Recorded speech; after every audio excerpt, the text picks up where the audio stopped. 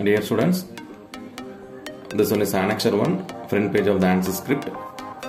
So here you have to fill details like a college code 2115, college name, name Ministry of Technology, write your register number, name, degree, BE, branch, mechanical, semester, the corresponding semester, question paper code which is available on the question paper, subject code, subject name, date of examination and the session, number of pages used in uh, numbers as well as letters. Finally, put the signature with the date.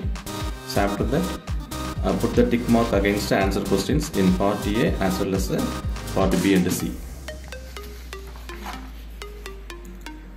In the answer sheet, each and every page you have to write reason number, name, subject code, subject name in the top side.